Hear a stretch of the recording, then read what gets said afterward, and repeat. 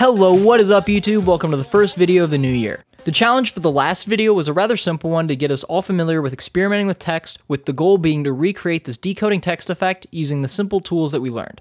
I've gotten a bunch of your results sent to me, and I like how most of them took it a step further and got creative with the shape and colors of the result. As always, there are a few that stood out to me more than others. Those were the ones submitted to me by Blendit, Yash Patel, and finally Bambushburned for this really interesting and trippy animation. This is a really simple effect to create, but it's still fun, so let's jump into it.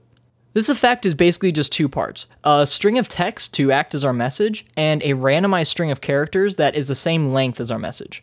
We can then take these two pieces, trim the back off one and the front off the other, and then stitch them together. By changing where we trim these two strings, we can then decode the message.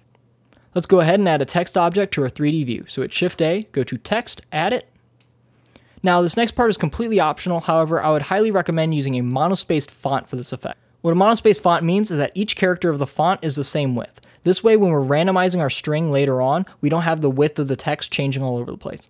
To do this, I'm going to go over to the text panel, go under Font, Regular, click the Open File button, and go to where we downloaded the font on our hard drive. I'm using a free open source font called Anonymous Pro. I'll provide the link in the description down below. However, you can use whatever font you want. Now that we have that set, we can go ahead and go down to animation nodes. So drag up our timeline, split it twice so that way we can still see our timeline. Go to the bottom window, hit Shift F3, add in a new node tree, an object input node.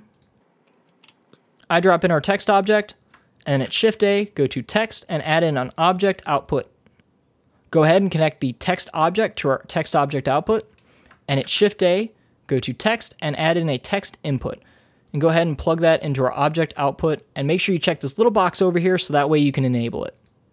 Now we need to type in our secret message that'll be decoded. So I'm going to type challenge complete little exclamation point at the end. And now we have our message. Next, we need to add a randomized string of characters. So at Shift A, go to text, go to random, and now if you remember from last video, this random text only selects from the characters in this box at the bottom of the node. So in order to change this, we can hit Shift A, go to Text, Characters, and then we can merge these lists into one. So at Shift A, go to Text, add in a list node, and we're going to select all the characters we want. So I want uppercase, I want digits, and I want special characters. And now we need to join this. So at Shift A, Text, join, plug the create text list into the texts, and the text into the random text node. And now if we plug the random text node into the object output, we get a preview of the random string that is being generated. A small problem, we need this random text string to be the same length as our text input. So to fix this, let's drag over our text input, go Shift A, text, and add in a length node. Go ahead and connect that up to our text input and our random text length, and now no matter what we set the text input to, our random string will always be the same size. Now, if you remember from the beginning of this video, we need to trim the end off the text input and the beginning off the random string. So I'm going to go ahead and disconnect the random text node from our text object output, drag all these nodes over, and then hit Shift A, go to text, and add in a trim text node, and then duplicate that. Next, I'm going to go ahead and plug our text input into the top trim text node and plug the random text node into the bottom trim text node. Now, we need to change some of the settings on this node. So on the top one, set the end to zero, and then on the bottom one, uncheck end and check start. And now just like merging the random text characters, we can hit Shift A, go to text, add in a list node, connect the top trim text to the top one, the bottom trim text to the bottom,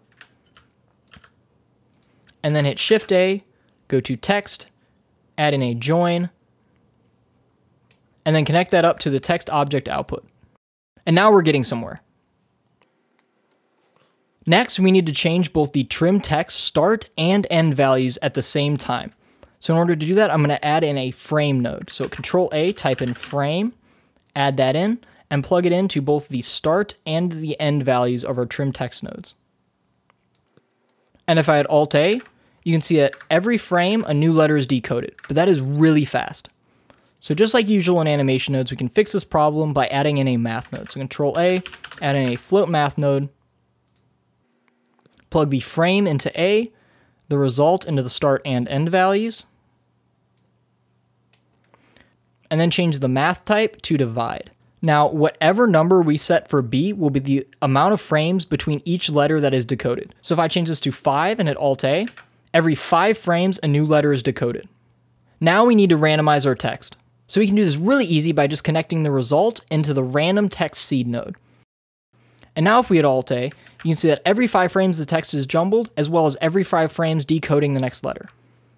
However, if we wanted to add a little bit more variation to this, we can duplicate this math node, keep that at divide, connect frame to A, result of this new one to seed, and now we can change this value. So if I set the bottom one to 3, what should happen is every 5 frames a new letter is decoded, and every 3 frames the letters are jumbled.